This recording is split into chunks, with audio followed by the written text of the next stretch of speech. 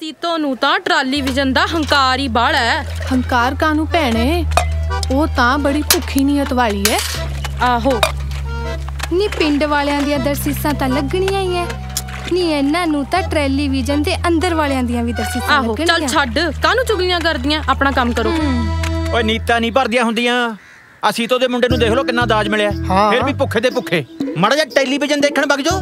ਮੌਤ ਪੈ ਜਾਂਦੀ ਹੈ ਉਹ ਬਾਲੀ ਗੱਲ ਆ ਗਿੱਠ ਮੁੜੀਆਂ ਦੇ ਰੋਟੀ ਪਾਣੀ ਦਾ ਇੰਤਜ਼ਾਮ ਮੈਂ ਕਰ ਦਿਆ ਕਰੂੰਗਾ। ਅਸੀਂ ਕਿਹੜਾ ਯਾਰ ਭੁੱਖੇ ਮਰਦੇ ਆ ਦਿਲ ਨਹੀਂ ਭਰਦਾ ਬਿੰਦੂ ਯਾਰ ਟੈਲੀਵਿਜ਼ਨ ਦੇਖ ਦੇਖ ਕੇ ਹਨਾ? ਉਹ ਕਿੰਨਾ ਨਜ਼ਾਰਾ ਆਉਂਦਾ ਜੇ ਬੂਟੇ ਦੀ ਬੁੜੀ ਦੇਖਣ ਦਿੰਦੀ। ਹੇ ਬਾਬੇ ਪੂਰੇ ਵਾਲਿਆ ਜੇ ਬੂਟੇ ਦੀ ਬੁੜੀ ਮਰ ਜੇ ਮੈਂ 1 ਰੁਪਏ ਪਤਾਸੇ ਬਣੂੰਗਾ 1 ਰੁਪਿਆ ਦੇਣੀ ਓਏ 5 ਰੁਪਿਆਂ ਦੇ ਬੰਦਾਂਗੇ। ਜੈ ਪੂਰੇ ਵਾਲਿਆ।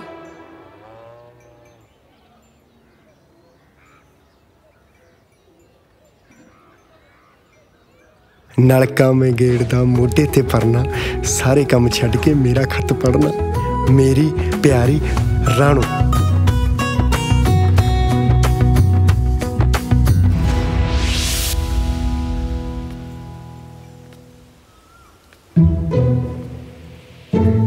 ਓਏ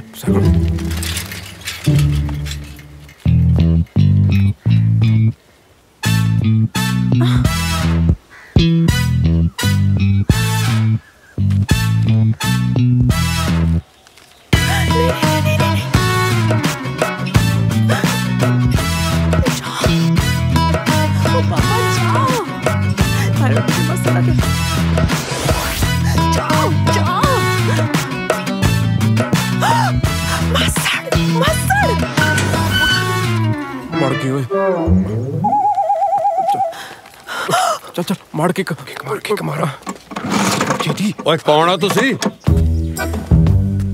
ਬੋਲਦੇ ਨਹੀਂ ਕੌਣ ਹੋ ਤੁਸੀਂ? ਅਸੀਂ ਜੀ ਉਹ ਮਰਦਮ ਸੁਮਾਰੀ ਵਾਲੇ ਆ ਜੀ। ਪਤਾ ਕਰਨਾ ਐ ਸੀ ਕਿਹੜੇ ਘਰ ਚ ਕੌਣ ਕਿੰਨਾ ਪੜ੍ਹਿਆ ਲਿਖਿਆ ਜੀ। ਆ ਕੀ ਆ ਓਏ?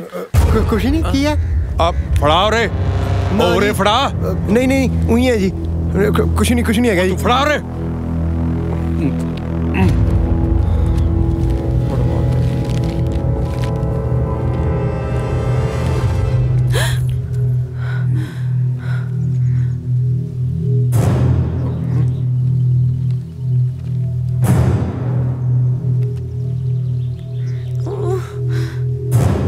ਮੈਨੂੰ ਪੜ ਕੇ ਸੁਣਾ ਓਏ।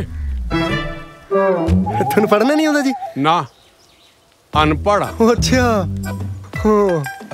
ਪਰ ਤੇਜ ਬਹੁਤ ਆ। ਤੂੰ ਪੜ ਕੇ ਸੁਣਾ ਓਏ। ਮੈਨੂੰ ਵੀ ਆਪਣੇ ਵਾਂਗ ਤੇਜ਼ ਹੀ ਸਮਝੋ ਜੀ। ਆ ਹੈਗੇ ਤੁਸੀਂ ਅਨਪੜ੍ਹ ਤੇ ਕਰਦੇ ਹੋ ਮਰਦਮ ਸ਼ੁਮਾਰੀ ਹੈ? ਚਲੋ ਕੋਈ ਗੱਲ ਨਹੀਂ ਜੀ। ਅੱਜ ਕੱਲ ਤਾਂ ਅਨਪੜ੍ਹ ਬੰਦੇ ਵੀ ਸਰਪੰਚ ਬਣੇ ਫਿਰਦੇ ਆ। ਕਿਉਂ ਸਰਪੰਚ ਸਾਹਿਬ? ਤੈਨੂੰ ਕਿਵੇਂ ਪਤਾ ਹੋਏ ਮੈਂ ਸਰਪੰਚ ਆ? ਤੁਹਾਡਾ ਰੋਬ ਦੱਸਦਾ ਜੀ। ਸਰਪੰਚ ਪੱਕਾ ਹੋਵੋਗੇ ਤੁਸੀਂ। ਬਾਈ ਮੁੱਛਾਂ ਵੀ ਬਰਾਬਰ ਹੈ ਹਾਂ ਬੜਾ ਬੜਾ ਚਲੋ ਦਿਓ ਆ ਗਿਆ ਜੀ ਫਿਰ ਚੱਲਦੇ ਆ ਜੀ ਫਿਰ। ਚਲੋ ਚਲੋ ਨਿਕਲੋ।